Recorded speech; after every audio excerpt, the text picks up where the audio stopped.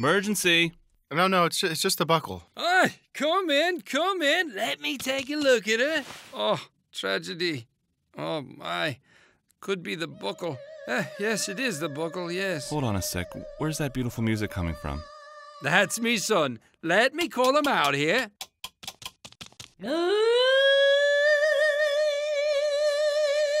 Wonderful. Bravo. Bravo. Oh, terrific. Shamus is deaf, I'm afraid. Deaf as a doornail. Oh, he sounds just like a winged angel, though. Mr. Mayor, not only are we uncomfortable with a city official competing in this contest, uh, we are very uneasy considering you have no experience piloting a hot air balloon. Ladies and gentlemen, if I may, I guarantee Team Mayor will win this challenge. At which point, I promise to give all the prize money to this little sweet boy, Shamus, so he may become a strong and normal boy. Up, up, and away!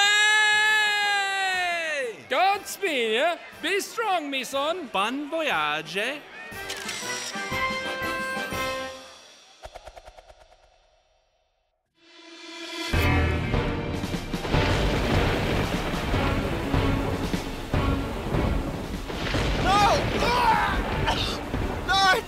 I threw the waste out yesterday! Come on, Tom. You don't have to lie about it. What does it matter? We're all going mad! You've taken us too far! We're low on fuel! We have to turn back! You wanted this mission to fail from the beginning, didn't you, Tom? No! It's just the storm is tearing us apart! And, and I think Shamus is dying! Let me captain the ship! Let me bring her down! I wouldn't do that if I were you.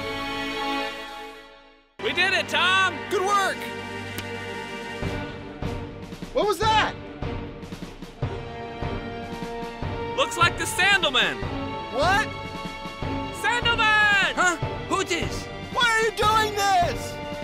I can't let you beat my record. Even if it means hurting your only son? Twouldn't be the first time. I'm sorry you fell from my balloon. Twas the biggest race of me life. And there was too much weight on board. I had to make a tough decision. You see, I was forced to toss you off. And that is why you cannot hear. now the truth can be told. So long! We're too heavy, Tom. We have to beat him to the 5,000 lap mark. We gotta throw Shamus overboard. What? Come on, he's dead weight, Tom. He hasn't helped out at all. We need to tie some sandbags to his legs to soften the fall. Okay, well, let me just jump on record here and say that I don't think this is such a. Tom, I'm relieving you of your post. You're no longer fit to captain this ship. Come on, Tom, after me. One, two, three.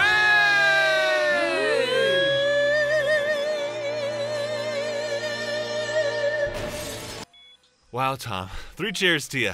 We did it. No, thank you. No, thank you for your great PR work, buddy. Oh, well, thank you again. and you know what? The cake and eat it too element in this is that the doctor says Shamus is going to be right as rain in a couple weeks. Oh, look at him, Tom. Ah, poor Shamus is going to need a father now.